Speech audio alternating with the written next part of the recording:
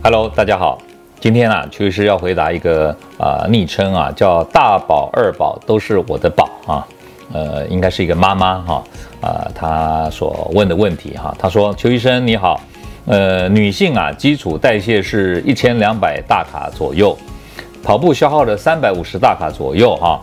那么她问说，减脂期间一日三餐总热量该怎么吃，可以达到健康减肥的效果哈？好。”那么大宝二宝都是我的宝呢？他问的很好啊，他就说这个减肥呢是为了啊健康啊，呃美丽是附加的价值嘛，对不对哈？体态变好那个是啊呃呃怎么讲附带的好处？呃当然你也可以反过来说，你是为了追求体态的完美，那附带有健康的好处，其实都可以的哈。反正就是说这个把我们啊会影响我们健康的这个高的这个体脂呢，把它降下来啊。其实就是我们健康啊，追求健康最主要的目的了哈。好，那这里有讲到一个重要的概念，就是说我们一般人哈，如果你的新陈代谢一天需要是一千两百大卡的话啊，那这个数值很重要，你一定要先知道自己的新陈代谢是多少大卡，然后呢，你你的饮食呢就是怎样，不要低于这个。基础代谢的热量，这样子就可以帮助你健康减肥了。举例来说呢，大宝、二宝都是我的宝呢。假设你的基础代谢是一千两百大卡，那么呢，你每天呢一定要吃到一千两百大卡的热量啊。这怎么算呢？这个当然有它的一些。呃，算的一些方法。那今天啊，先不谈这个怎么算你一天吃的总热量的问题，我先讲这个概念性的问题。好，就是你呢一天加起来的总热量不要低于你的新陈代谢。好，维持住这个热量多个一百两百没有关系了哈，不要有呃挂碍，不要那么的呃担心紧张。大概就是呃比基础代谢啊或呃等于或者多一一两百大卡，这样就可以了。好，那这样就会有减肥的效果，你知道为什么吗？因为啊，我们一天当中消耗的热量哦，不是只有基础代谢消耗的热量，我们还有啊吃东西的消化产热，这是第一个。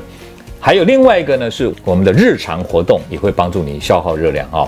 那日常活动消耗的热量大概多少呢？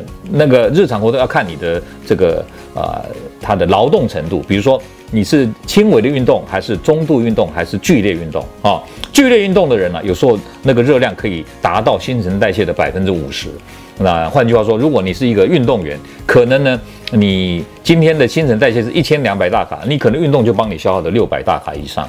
好，那么中度的运动呢，就是大概三十八左右，三十八左右就是你讲的三百五十大卡左右，对不对？中度运动包括什么？包括你可能有啊慢跑一下啊，或者是你有骑个单车啊，哦，你有做一点小小的运动啊，这种就是中度的运动。